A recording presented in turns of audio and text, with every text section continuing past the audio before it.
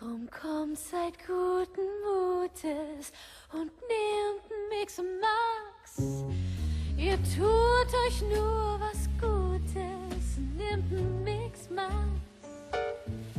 Den Knochen tut's gut, den Sehnen und dem Bauch. Und gegen Mundgeruch hilft es mal.